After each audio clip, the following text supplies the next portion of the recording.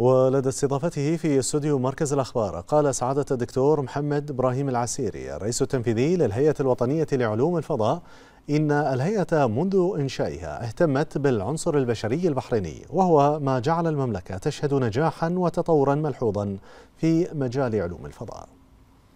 حقيقة لرؤية سيدي حضرة صاحب الجلالة الملك المعظم حفظه الله ورعاه ومتابعة مستمرة من قبل سيدي سمو ولي سمو ولي العهد رئيس مجلس الوزراء حفظه الله ورعاه.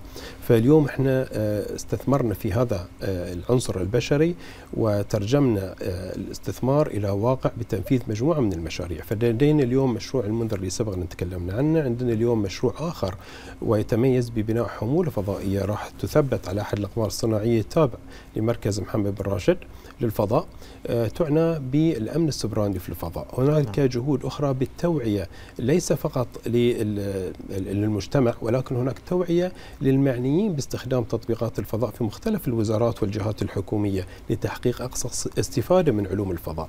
اليوم لدينا المختبر الوطني لتحليل البيانات والصور الفضائية الذي أنتج أكثر من 66 دراسة وهذه الدراسات آه، تسهم في آه، دعم صناع القرار في مختلف قطاعات الدولة لاتخاذ قرارات مدروسة وفق معلومات تم الحصول عليها من البيانات الفضائية.